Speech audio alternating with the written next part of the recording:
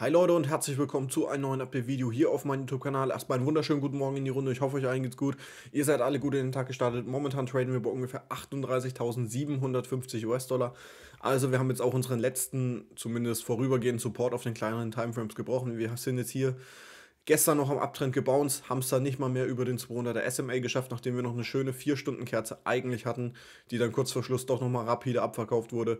Haben wir jetzt in den letzten Stunden den Breakout nach unten hingesehen Momentan gibt uns dieses ehemalige Key-Level bzw. unser ehemaliger Widerstand noch etwas Support. Das ist so unsere letzte Hoffnung. Ansonsten sehen wir hier wirklich unser Golden Pocket, wo wir schon von längerer Zeit eigentlich drüber geredet haben, dass die Chance besteht, dass wir hier reingehen.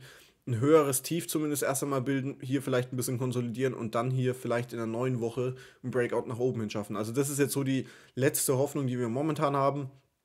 Ansonsten ähm, werden dann doch wieder die Rufe hier in Richtung 32.000, 33.000 US-Dollar doch wieder etwas lauter. Wir dürfen es nicht außer Acht lassen, sage ich mal so. Die Möglichkeit besteht auf jeden Fall jetzt mittlerweile wieder, obwohl der RSI hier mittlerweile echt relativ weit unten ist, also 26. Wir hatten ja schon mal drüber gesprochen. Wir hatten hier drüben mal einen Drop bis auf 18. Würde dann wahrscheinlich bedeuten, dass wir hier wirklich in das Golden Pocket reingehen. Es ist nicht unwahrscheinlich, jetzt nachdem wir diesen Support hier erst einmal durchbrochen haben. Klar, die 4-Stunden-Kerze geht noch 30 Minuten, ob wir jetzt hier wirklich Power reinkriegen, dass wir hier doch noch drüber schließen, wage ich erst einmal zu bezweifeln. Ähm, jetzt wird es halt über den Tag entscheidend sein, ob wir jetzt wirklich runtergehen sollten hier unten dann wirklich mal einen Bounce sehen oder hier vielleicht einen kleinen doppelten Boden und dann hier mit Schwung nach oben gehen. Also unser 7i-Gap liegt bei ca. 39.900 US-Dollar. Das könnt ihr euch schon mal für den morgigen Tag im Kopf behalten. Ähm, Wäre vielleicht gar nicht so schlimm, wenn wir dann heute hier ein bisschen ums Golden Pocket rumbouncen und dann äh, am nächsten Tag bzw. in der nächsten Woche erst einmal einen Bounce nach oben sehen. Ansonsten hält dieses Golden Pocket nicht. Ähm, 0786er bei ungefähr 35.600 US-Dollar ist auch noch eine Möglichkeit, habe hab ich euch auch schon darauf hingewiesen. Könnte dann so ein False Move, False Move sein, sage ich mal. Jeder denkt, wir bouncen am Golden Pocket, gehen dann aber ins 0786er. Deswegen, wer sich hier eine Long-Position aufbaut, meine Orders liegen einerseits hier, liegen am 0786er und hier unten bei 33k. Ist zwar absolut risky, sage ich mal, in der momentanen Situation. Auch was geopolitisch weiterhin abgeht, wissen wir auf jeden Fall nicht. Deswegen ist absolut Vorsicht, keine Riesenposition jetzt hier aufbauen. Man kann sich vielleicht jetzt hier langsam aber sicher eine Long-Position aufbauen. Aber ich wäre trotzdem vorsichtig, hier jetzt all in reinzugehen und zu sagen, ja, der Bounce muss hier unbedingt kommen oder bei 32.000, 33.000 US-Dollar. Bullish wäre es bis 38, äh, 27.000 US-Dollar circa. Nur um euch mal darauf hingewiesen zu haben, weil hier das Golden Pocket von unseren 3K, wo wir damals im Bärenmarkt waren, beziehungsweise Corona-Crash, bis zu unserem All-Time-High gezogen haben. Also, das sind jetzt momentan die Gedanken, mit denen ich ungefähr spiele. Aber jetzt müssen wir erstmal schauen, wie die 4-Stunden-Candle ähm, aussieht, beziehungsweise in den nächsten Stunden weiter vorangehen. Wie gesagt, momentan 38.700. Man sieht es hier drüben, wir hatten hier immer wieder Widerstand. Jetzt zum ersten Mal als Support angetestet. Dieser Pump hier ist jetzt schon wieder beinahe aufgefüllt. Also Golden Pocket ist auf jeden Fall möglich. Wir hatten hier noch einen Wick. Der wäre damit dann auch gefüllt. Also behaltet die Area hier auf jeden Fall mal im Auge. Ansonsten schauen wir uns mal ganz kurz Ethereum an. Ethereum kommt langsam aber sicher hier und auch unserem Golden Pocket, sage ich mal, ein bisschen näher, was wir auch schon die ganze Zeit immer wieder angesprochen haben. Gestern haben wir gesagt, okay, wer da eine Long probieren will, sollte auf jeden Fall unter das 0786er seine Position legen, wenn nicht sogar unter das letzte Tief. Aber ansonsten, diese, diesen Weg haben wir die ganze Woche schon drin. Wir haben eigentlich nur darauf gewartet, dass wir endlich mal ins Golden Pocket gehen. Könnte jetzt vielleicht eine Art Frontrunning sein, weil wir jetzt hier minimal über dem Golden Pocket sind. Wir bilden momentan noch ein höheres Hoch, auch weil wir in diesem Golden Pocket noch eine 4 Stunden Demand haben. Und die haben wir jetzt komplett gerade ausgenutzt. Also hier vielleicht ist es ein bisschen vorsichtig sein. Ähm, ich habe euch ja auch schon immer gesagt, legt eure Orders vors Golden Pocket und darunter baut euch eine Position in diesem Bereich auf, also nie direkt ins Golden Pocket, weil es Frontrunning sein kann. Das heißt, die Leute gehen vorher schon long. Man sieht es jetzt hier genau in dieser 4 Stunden Demand Zone. Aber der Weg war die ganze Woche schon relativ safe, dass wir hier in diesem Bereich auf jeden Fall nochmal kommen könnten.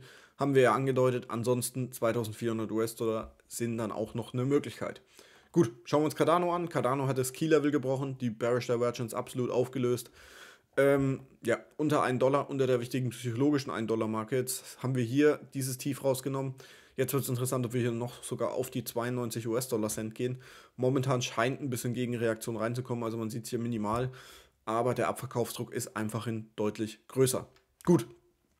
Ähm, schauen wir uns noch Polkadot an. Übrigens, kleiner Reminder, heute um 12 bis 13 Uhr bin ich bei der Krypto-Eule live. Link werde ich euch später noch in die Telegram-Gruppe schicken. Wer noch in der Telegram-Gruppe ist, Kommt gerne dazu, Link ist wie immer in der Videobeschreibung und lasst auf jeden Fall ein Like da und abonniert den Kanal, um nichts mehr zu verpassen. Gut, schauen wir uns noch Polkadot an. Auch hier, wir sind wieder in unserer überdimensionalen Range, sage ich mal, die wir hier einmal verlassen haben. Head and Shoulders gebildet, Preisziel wurde erreicht. Jetzt gehen wir wieder langsam nach unten. Nächste interessante Zone wird dann hier, wo wir uns jetzt momentan gerade befinden. Abverkaufsdruck ist sogar noch relativ gering, dafür, dass die Kerze nur noch 25 Minuten geht.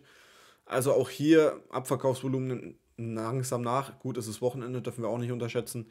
Aber ist schon mal ein gutes Zeichen, dass wir hier keinen riesen Peak vom Abverkauf sehen. Schauen wir uns noch ein paar Altcoins dazu an. Engine äh, hat sie auch nicht geschafft am Golden Pocket. Also wir hatten hier den Bounce zum Golden Pocket, haben aber nicht mehr genug Schwung gehabt, über das 0236er wiederzukommen. Deswegen haben wir hier leider nicht das Preisziel hier bis ganz oben erreicht. Aber ansonsten Rollover gesehen und das Golden Pocket. Jetzt wird es interessant, ob es ähm, 0786er hier erst einmal hält. Wird sich zeigen, aber auch hier könnte sich dann Front-Running im Endeffekt andeuten, dass wir nicht genau ans 0786er gehen. Aber gut, es wird sich jetzt zeigen, ob Bitcoin wirklich Bock hat, hier ins Golden Pocket reinzugehen, weil dann halte ich hier diese Kurse auf jeden Fall um das 0786er, vor allem bei den Altcoins, relativ für wahrscheinlich. Schauen wir uns Luna an. Luna gleiches Spiel. Golden Pocket dann ans 05er gekommen, 4 Stunden E-Mail Ribbons, absolut rejected. Golden Pocket hat er nicht mehr gehalten, das wäre dann das dritte Mal gewesen, wäre aber auch nicht gut gewesen. Jetzt sind wir genau hier am 0786er gebounced. Wenn das Level natürlich nicht hält, sehe ich hier wieder Kurse von 44 bis ungefähr ja, 43 US-Dollar, weil wir hier noch eine 4 und 8 Stunden Demand-Zone haben, die dann uns vielleicht nochmal etwas Schwung nach oben geben könnte. Gut, dann, was können wir uns noch angucken? Sand vielleicht noch, auch wenn es jetzt momentan keinen Spaß macht, ganz ehrlich, irgendwelche Altcoins anzugucken, äh, weil der Kurs es einfach nicht hergibt. Auch hier ehemaliges Level überhaupt nicht gehalten. Wir haben hier nicht mal einen richtigen Bounce gesehen, fallen jetzt hier drunter. Hier könnte jetzt dieser Bereich hier unten bei ungefähr 3,09 Dollar ins Auge stechen, weil wir hier unten doch noch ein bisschen mehr Konsolidierung hatten. Beziehungsweise hier in diesem Level, wo wir uns jetzt fast sogar befinden, geht Bitcoin ins Golden Pocket. Dann auf jeden Fall die 3 Dollar Marke im Auge behalten. Gut, ähm, schauen wir uns auch ganz kurz die News an. News gibt es momentan keine, nur noch eine Chilis und Monero Altcoin-Chart-Analyse. Wer die sehen will, schaut bei CryptoGuru vorbei.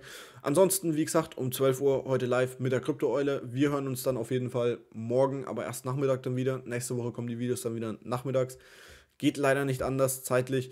Ansonsten wünsche ich euch einen schönen Sonntag. Wir hören uns dann, wie gesagt, morgen wieder. Ähm, entspannten Tag bis heute Mittag um 12 bei der Krypto-Eule. Ich freue mich. Ansonsten, wie immer, stay Crypto.